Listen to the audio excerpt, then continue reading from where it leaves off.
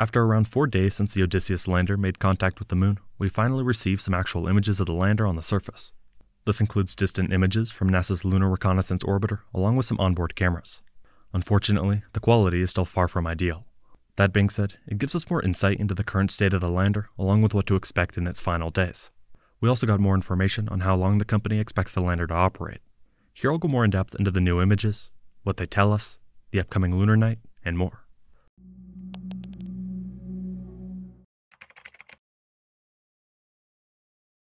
A few days ago on the 22nd, after a few complications with the lander's laser rangefinders, which it uses to help it land, Odysseus was confirmed to have made contact with the moon. While at first the company believed that the landing was upright and fully successful, we learned a few days later that it was actually on its side. At the same time, other than images leading up to the landing attempt, we hadn't received any images of the lander on the surface. Thankfully, this changed earlier this morning. Intuitive Machines finally released a few images both from a separate moon orbiter along with onboard cameras.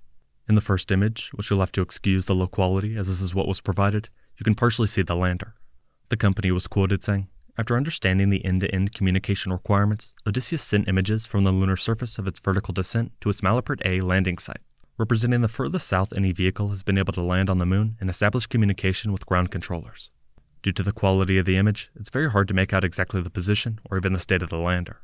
In a second onboard image, you can see the lander's view not long before the actual touchdown attempt. Here, the company mentioned, Odysseus captured this image approximately 35 seconds after pitching over during its approach to the landing site. The camera is on the starboard aft side of the lander in this phase. They went on to say, as part of Odysseus's descent onto the lunar surface, hazard relative navigation algorithms detected nine safe landing sites within the targeted South Pole region. They then released images from NASA's Lunar Reconnaissance Orbiter, which I believe gives the best view of the lander despite the quality. Here, as highlighted by the blue box and arrow, you can see a very small white object casting a shadow below it. In relation to this image, they said, Images from NASA's Lunar Reconnaissance Orbiter camera team confirmed Odysseus completed its landing at 80.13 degrees south and 1.44 degrees east at a 2,579 meter elevation. After traveling more than 600,000 miles, Odysseus landed within 1.5 kilometers of its intended Malapert A landing site, using a contingent laser rangefinding system patched hours before landing, they said. Looking even closer at the image, it does appear to be on its side as it looks longer than it is tall, suggesting it did in fact tip over. While it does have a very long shadow, that's more common on the lunar south pole. The lander is 4.6 meters tall and 1.6 meters in diameter. They also provided a sequence of images of the exact site before and after the landing attempt. This makes it even more clear the lander's position and state. You can clearly see the addition of the lander in the second image, along with its shadow produced by the sun. Based on what Intuitive Machines has said since the 22nd, this might be some of the only images we get. While they haven't said it directly, it's very possible that the sideways orientation and misalignment of certain antennae are hindering the process of receiving quality images. We do know that one of the main ways they planned to capture the landing on camera was not deployed.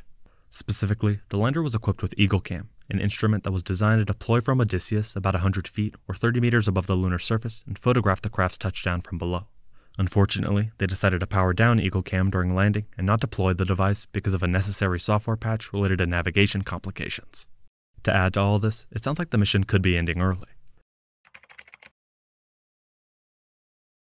The original plan was for Odysseus to land safely and operate on the surface for about a week before it would run out of sunlight and power.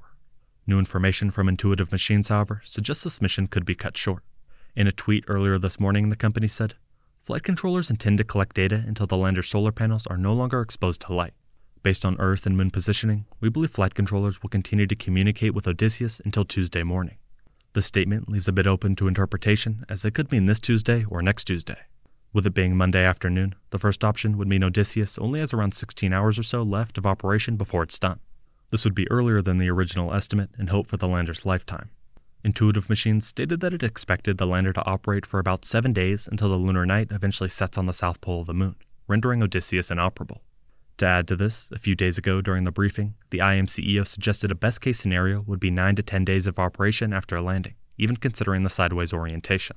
With it landing on the 22nd, 10 days later would be March 3rd, and next Tuesday is the 5th, or 12 days after landing. If they were to lose communication with the lander tomorrow morning, that would be a mission total of around 4.5 to 5 days. The problem simply comes down to sunlight. It seems that the sideways orientation could have a larger impact than initially expected. A few panels we know are not in an ideal position, such as the top solar panel and basically each of the side panels. While they're still gathering energy, they're in a much less efficient orientation and position. This could shorten the lander's lifespan. When planning the mission, according to Intuitive Machines, the lander was not designed to withstand the lunar night and require sunlight upon its solar panels to power its operations.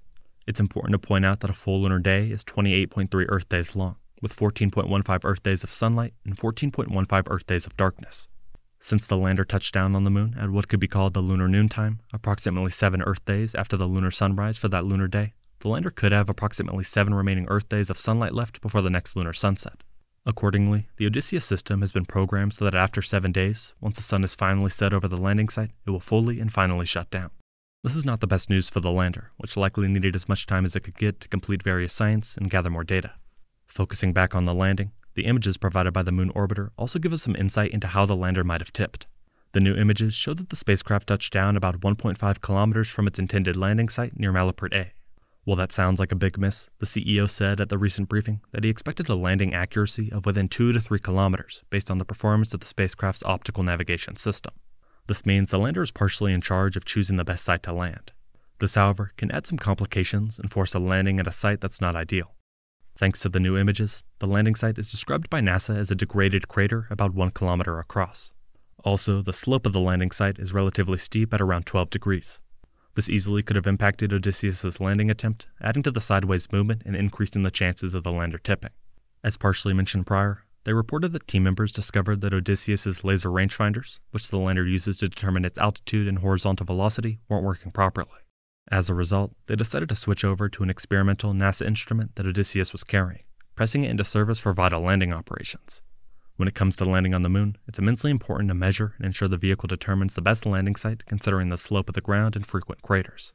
All this being said, we also aren't fully sure the impact this will have on the payloads. It seems that Intuitive Machines is also not exactly sure as they continue to communicate and work to keep the lander operating.